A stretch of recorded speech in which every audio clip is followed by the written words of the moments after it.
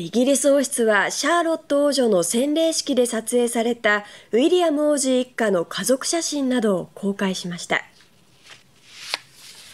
笑顔のキャサリン妃の腕に抱かれているのは生後2ヶ月を過ぎたシャーロット王女です。